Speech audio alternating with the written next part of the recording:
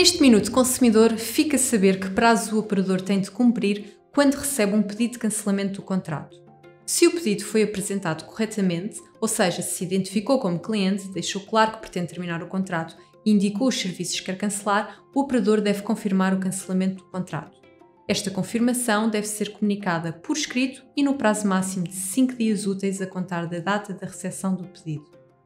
Deve ainda ser indicada a data efetiva do fim dos serviços, bem como os seus direitos e obrigações decorrentes do fim do contrato, como por exemplo o valor a pagar pelo incumprimento do período de fidelização.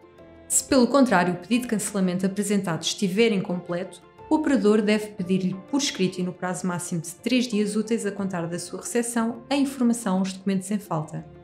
O operador deve fixar um prazo de 30 dias úteis para o envio dos elementos em falta e informá-lo de que, se não os enviar neste prazo, o seu pedido de cancelamento não será considerado, devendo repetir todo o processo. Em qualquer caso, o procedimento para cancelar não pode ser mais exigente do que o procedimento para contratar, por exemplo, em termos de facilidade, utilização de meios, custos e documentação necessária. Consulte estas e outras informações úteis no portal do consumidor da Anacom.